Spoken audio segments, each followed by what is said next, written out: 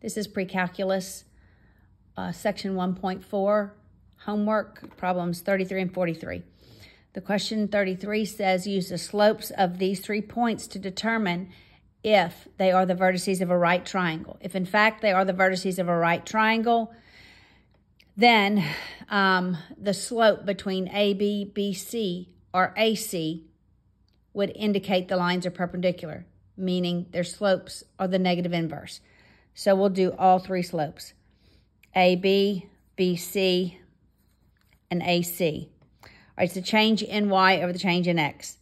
All right, so that's, we'll do A minus B. 6 minus 2 is 4. 9 minus negative 1 is 10. We'll simplify that to 2 fifths. That's the slope. All right, B to C. We'll go B minus C. So that's 2 minus negative 3, which is 5. 2 minus negative 3 is 5. Negative 1 minus negative 1 is negative 2.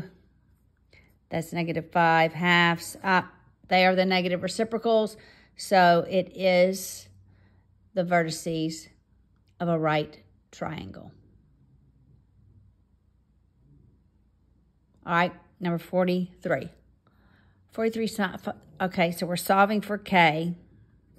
K, that's what we're solving for.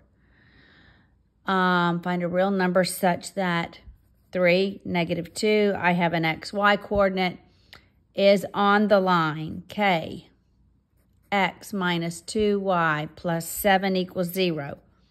All I have to do is substitute the x and the y into this equation and solve for k. So it's k times 3 minus 2 times negative 2 plus 7 equals 0.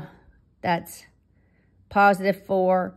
So it's 3k plus 11 because that's 4 plus 7 equals 0. 3k is negative 11. k is negative 11 thirds.